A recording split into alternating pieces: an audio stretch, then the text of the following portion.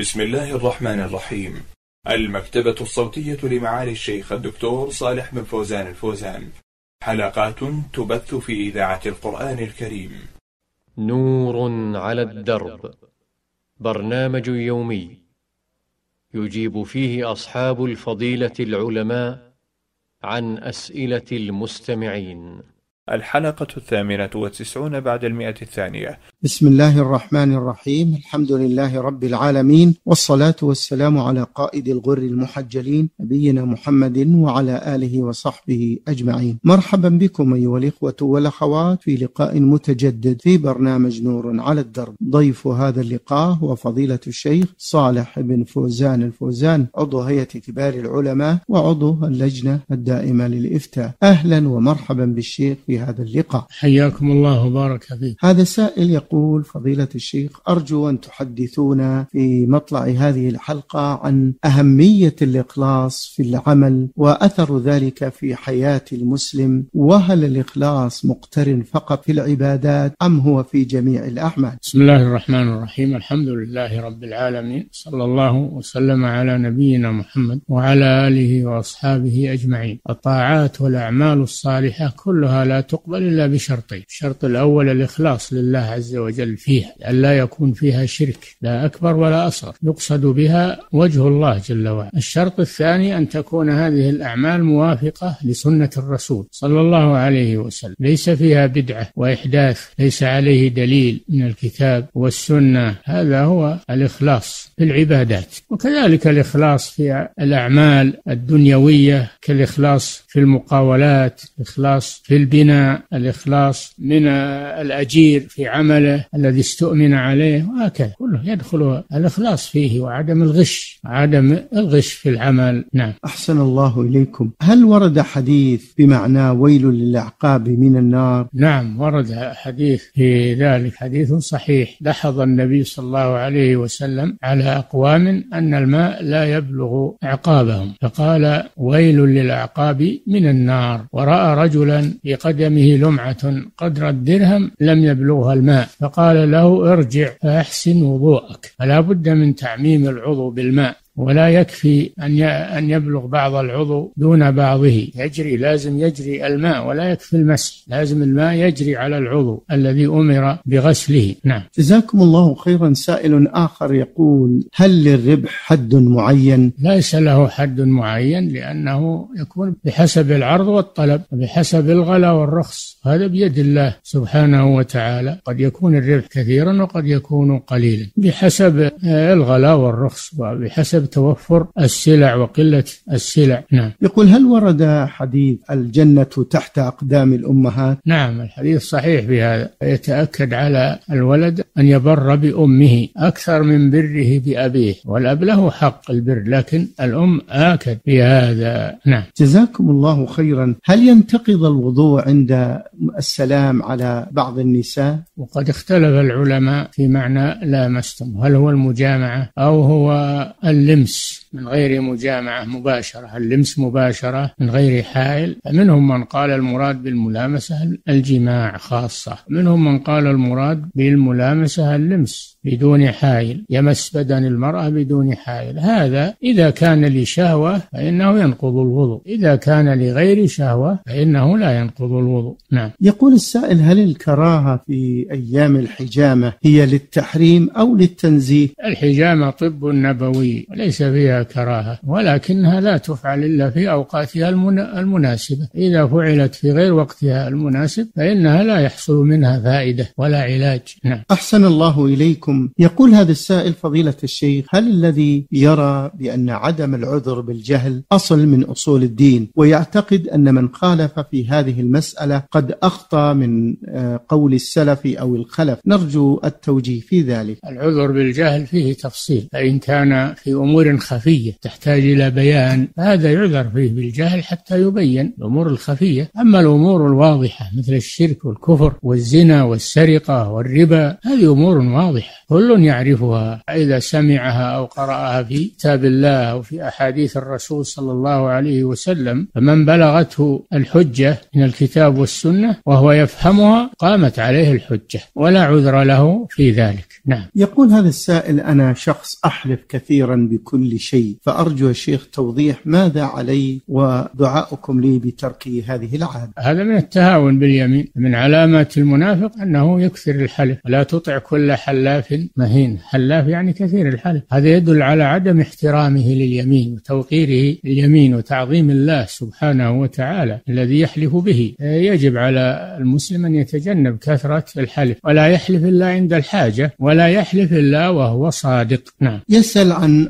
الرضعات المحرمة فضيلة الشيخ؟ وكيف تحسب؟ الرضعات المحرمة ما كانت في الحولين وهذا شرط. الشرط الثاني أن تكون خمس رضعات يعني مصات خمس مصات فأكثر. في كل مصة يخرج له اللبن ويمتصه. فإذا بلغت خمس مصات فإن هذه الرضاعة تحرم. قال صلى الله عليه وسلم يحرم من الرضاع ما يحرم من النسب. في حديث عائشة أنه كان في كتاب الله عشر رضعات معلومات يحرمن ثم نسخنا بخمس رضعات معلومات يحرمن وتوفي رسول الله صلى الله عليه وسلم والأمر على ذلك. نعم. أحسن الله إليكم. يقول هذا السائل ما هي الوسائل المعينة على الإخلاص والثبات؟ الوسائل المعينة على الإخلاص والثبات استحضار القلب للعمل الصالح واستحضاره لعظمة الله عز وجل استحضاره للإخلاص في عمله. نعم. يقول الشيخ ما نصيحة الشيخ لمن يتتبع زلات الناس ويقوم بنشر زلاتهم بالمواقع الاجتماعية بحجة أن هذه الوسيلة للإصلاح مع العلم بأنها تسوء البعض. كون الإنسان يحذر من الزلات ومن المعاصي دون أن يعين شخصا هذا مطلوب هذا من الموعظة والتذكير. أما أنه يتلمس زلات ناس معينين وينوه بهم يذكرهم فهذا لا يجوز هذا لا يجوز وليس هذا من النصيحة هذا من الفضيحة. فإذا كان يرى على شخص من إخوانه مخالفة أو خطأ في دينه أو خلقه أو غير ذلك فإنه ينصحه فيما بينه وبينه. قال تعالى إن الذين يحبون أن تشيع الفاحشة في الذين آمنوا لهم عذاب أليم في الدنيا والآخرة. قال سبحانه وتعالى يا أيها الذين آمنوا إن جاءكم فاسق بنبأ فتبينوا يعني تثبتوا.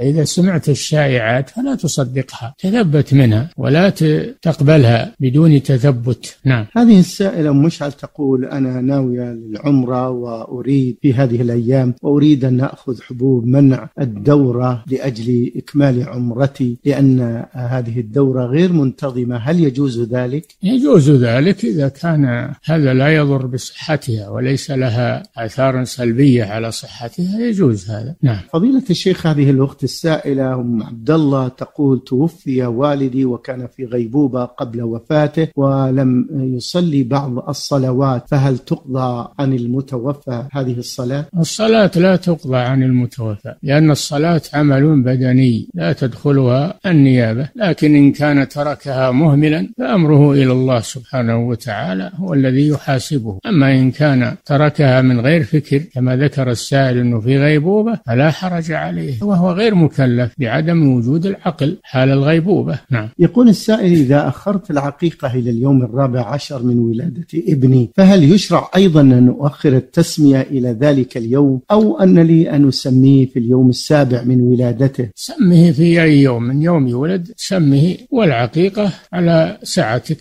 وعلى قدرتك متى ما قدرت عليها وتمكنت فإنك تفعلها. نعم. يسأل عن الأخ عبد الرحمن الدحيم من حريملة عن العزاء هل له أيام معدودة؟ ومتى تكون التعزية؟ هل هو بعد الدفن أو عند سماع خبر الوفاة؟ التعزية هي الدعاء. التعزية هي الدعاء للحي وللميت. تقول أحسن الله عزاك وجبر الله مصيبتك وغفر الله لميتك في أي مكان في المسجد في الشارع في المقبرة. لا بأس بذلك. وليس للتعزية إجراءات. يهيأ لها مكان ويفرش المكان وأيضا يعد له كراسي ويحصل فيه إتعاب لأهل الميت في خدمته. تحيتهم واستقبالهم هذا لا أصل له. وكذلك لا تصنع أطعمة كثيرة إنما يصنع طعام لأهل الميت خاصة. قال صلى الله عليه وسلم لما لما استشهد جعفر بن أبي طالب رضي الله عنه قال لزوجات الرسول صلى الله عليه وسلم اصنعوا لآل جعفر طعاما فإنه قد أتاهم ما يشغلهم. على قدر حاجة أهل الميت. قال بعض الصحابة كنا نعد الاجتماع إلى أهل الميت وصنعة الطعام من النياحة فهذه المبالغات لا تجوز. أرهقت الناس عطلت الأعمال وليس لها دليل من الكتاب والسنة. نعم. أحسن الله إليكم. يقول السائل يا شيخ في حينا وفي حارتنا عند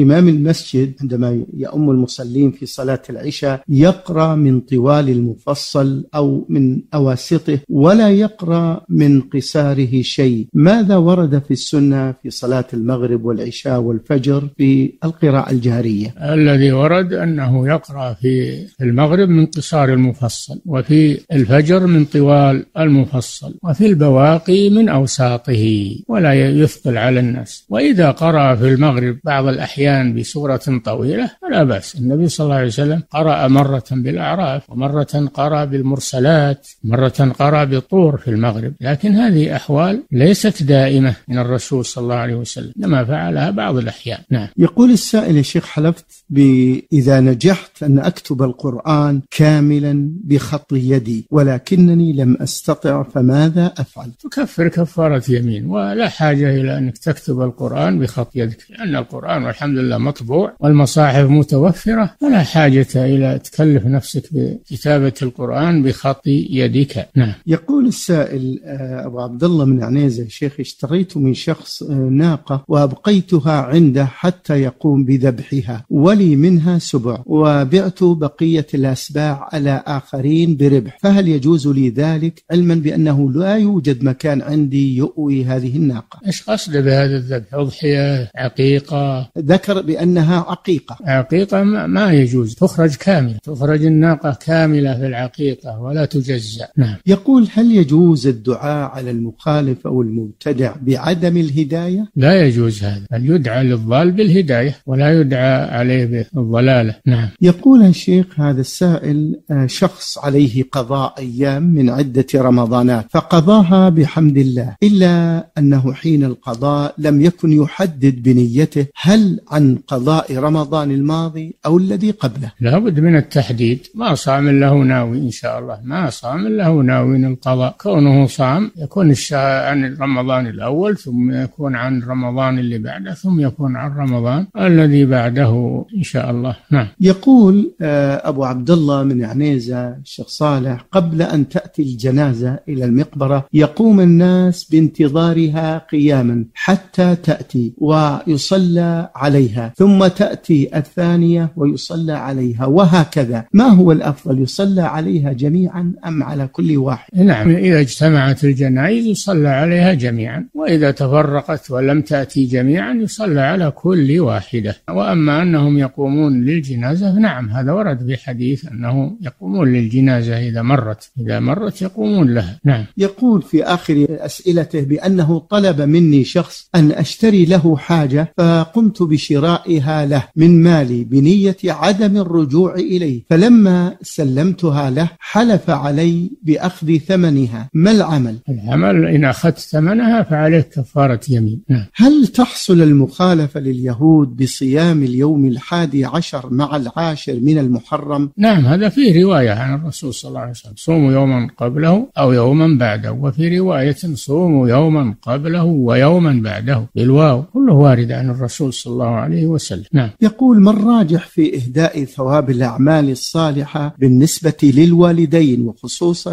الأم والأب؟ ما يثوب للميت إلا بما ورد به الدليل. ما ورد به الدليل وإلا الأصل أن كل إنسان له عمله وأن ليس للإنسان إلا ما سعى. لكن ما ورد به الدليل أنه يهدى ثوابه مثل الصدقة عن الميت مثل الحج والعمرة مثل قضاء الدين هذا ورد به الدليل ويفعل عن الميت. وكذلك الصدقة والدعاء أيضا الدعاء للميت المغفرة والرحمة. نعم. يقول السائل في الأعياد والاستسقاء والمناسبات ما السور التي كان يقرأ فيها الرسول صلى الله عليه وسلم؟ يقرأ بسبح والغالب والغاشية أو يقرأ بقاف واقتربت. نعم. يقول سورة تبارك هل تقرأ يوميا وخصوصا إذا كان في ليلة الجمعة؟ ما تخصص بليلة الجمعة. تقرأ متى ما تيسر له يقرأها لأنه ورد أن من قرأها تنجيه من عذاب القبر. نعم. يسأل الأخ أبو عبد الله عن فضل تدريس العلوم الشرعية ومنزلة المعلم لهذه الدروس. لا شك أن الذي يدرس الناس العلوم الشرعية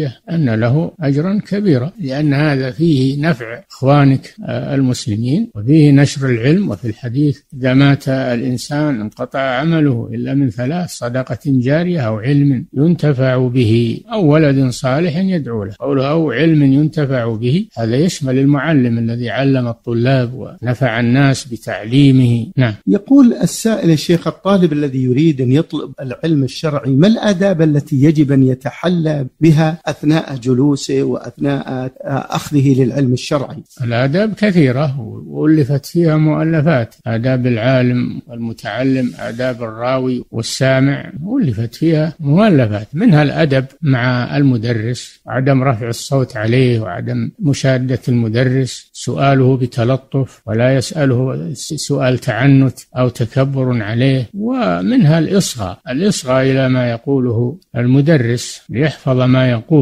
وكذلك من آداب طلب العلم الحفظ أن يحفظ ما يشرحه المدرس يحفظه قبل الحضور ثم يشرحه المدرس شيئا فشيئا في كل يوم. هذه من آداب طلب العلم وأعظم آداب طالب العلم العمل. العمل بالعلم أو تتعلم فقط ولا تعمل لابد من العمل. نعم. يقول السائل علي ما المقصود بربا النسيئة؟ ربا النسيئة التأجيل يعني كان يبيع دراهم بدراهم مؤجلة تمر بتمر مؤجل أو ذهب بذهب مؤجل أو فضة بفضة مؤجلة أو ورق نقدي بورق نقدي مؤجل هذا لا يجوز هذه مصارفة لابد من التقابض في المجلس وإلا يكون نسيئة محرمة. نعم. أحسن الله إليكم وبارك فيكم. فضيلة الشيخ تقول الأخت أم عبد الله في رمضان وفي المسجد وفي مؤخرته بعض النساء لا يسوين الصفوف فتكون بعض النساء متقدمة والبعض متأخرة. هل هذا يشمل النساء أم هذا خاص بالرجال؟ يشمل النساء. يستحب لهن أن يكن صفوفا وأن يسوين الصفوف وأن يكملن الصف الأول فالأول ولا يتفرقن. نعم. أحسن الله إليكم. هل للمرأة أن تطلب من شخص معين عرف بصلاحه أن تطلب منه أن يدعو لها ولأولادها؟ لا بأس في ذلك طلب الدعاء من أخيك. هذا شيء طيب. نعم. شكر الله لكم يا فضيلة الشيخ. وبارك الله فيكم وفي علمكم ونفع بكم الإسلام والمسلمين. وانتهى هذا اللقاء من برنامج نور على الدرب. أجاب عن أسئلتكم واستفساراتكم فضيلة الشيخ صالح بن فوزان الفوزان عضو هيئة كبار العلماء وعضو اللجنة الدائمة للإفتاء. هذه تحية من زميلي مهندس الصوت عثمان بن عبد الكريم الجويبر الذي سجل هذا اللقاء. السلام عليكم ورحمة الله وبركاته.